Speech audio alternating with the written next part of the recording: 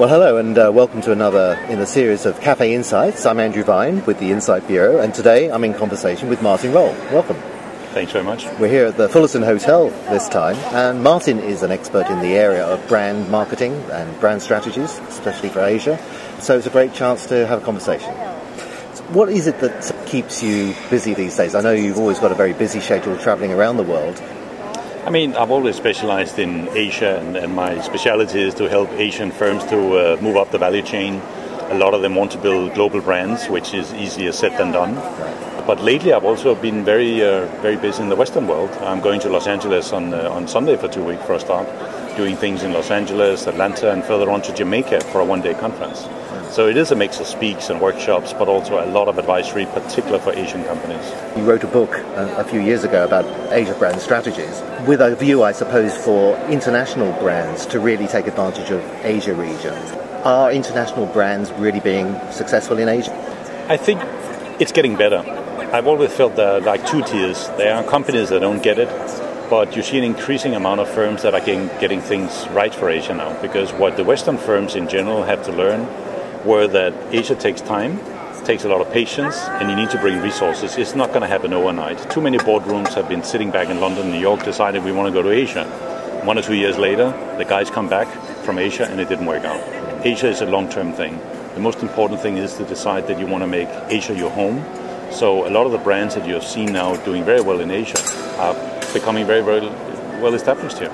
To start with, it was about bringing existing brands out to a new market. But as markets grow and you get a perhaps a, a tipping point where the Asian markets might start to lead, you can learn a lot from the Asian companies. I mean, I would say that the Asian firms are still far behind in general. I mean, you see the, the rise of the, the likes of the Samsung and the LG and Hyundai are, are, doing very well. I mean, there will be a point where Western businesses would, would learn from the region.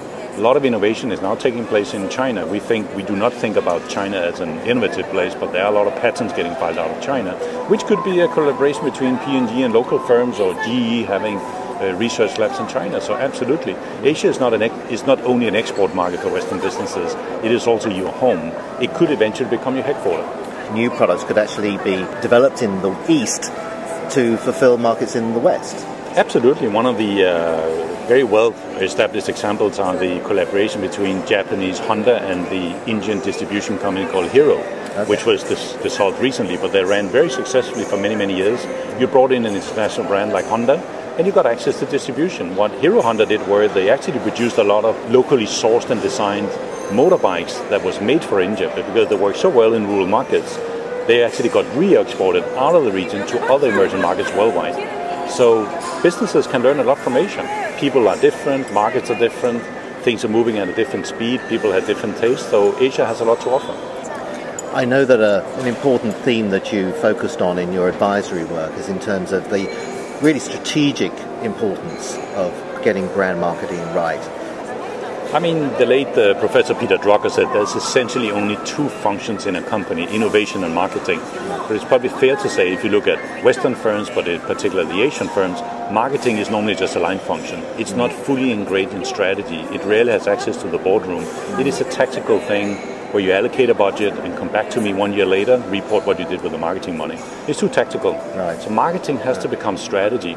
That's easier said than done because you need to make sure it becomes ingrained throughout the entire culture, led by the CEO but carried out by everyone in the organization. Are there examples of companies that you think do it well? I think a lot of the Western firms know how to do that, but you increasingly see Samsung taking brand and marketing very, very seriously. When, when Lee Kun-hee in 1997, after the Asian and the Korean financial crisis, decided to uh, move Samsung up and out of Korea, he realized that marketing had to take center stage. He hired probably one of the first chief marketing officers in Asia back in 98 or 99 and you see you're starting to see the fruits of that. This is the theme that's going to uh, permeate through your new books coming out about the strategic role of, of marketing.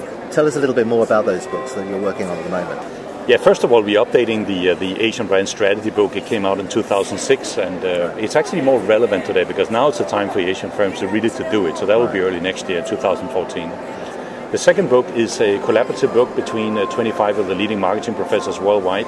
We have all written one chapter each. It will be called uh, Next in Marketing. It will be published uh, by SARS uh, Publications in Q1 next year. And the two other books, one is going to be on the Chief Marketing Officer, which is a, really a game changing thing in modern corporations, but it's also very hard to carry out, which is you're going to bring marketing into the boardroom and making sure marketing does become strategy. The last time is a book that's tried to lead the effort between leadership and, and branding and marketing. How does marketing become leadership? Because marketing, as I said, is still way too tactical and in order for that to be taken seriously at the highest level, it needs to make sure that you kind of ingrain it throughout the entire organization. And no people, I mean, no one has, has yet bridged those different functions together in a book, and that's what I'm trying to do.